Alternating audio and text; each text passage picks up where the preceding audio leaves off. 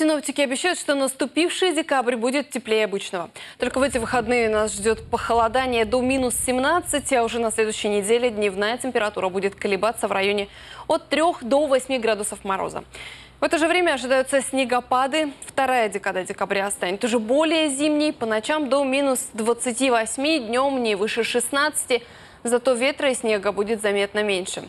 Потом опять потеплеет и к долгожданному празднику, по прогнозам специалистов, установится достаточно мягкая погода. Можно предположить, что новогодняя ночь все-таки у нас будет не очень холодной, а в пределах от минус 13 до 18 градусов. Ну, возможно, в дальнейшем мы будем, конечно, уточнять этот прогноз. И более вероятно, конечно, что эта температура будет еще несколько выше.